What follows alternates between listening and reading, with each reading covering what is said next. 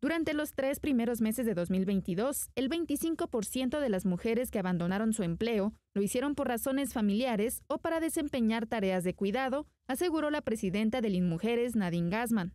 Porque se embarazan, porque tienen que salir a cuidar a sus hijos, a su familia, etc.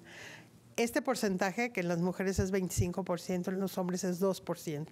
Quiere decir que el mundo no es igual para los hombres y las mujeres y esto se tiene que tomar en cuenta en el marco de la firma de un convenio entre el Instituto Nacional de las Mujeres y el Tribunal Federal de Conciliación y Arbitraje, indicó que juzgar con perspectiva de género es indispensable para garantizar la igualdad.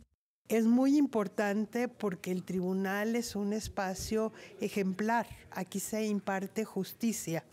Y si logramos que la justicia tenga esta perspectiva de género, vea las circunstancias, lo que le pasa específicamente a las mujeres, eh, estamos realmente caminando hacia una sociedad más justa y más igualitaria.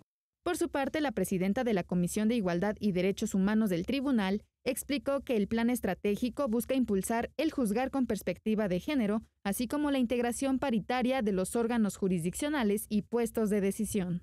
Poder Informativo, Laura Murillo.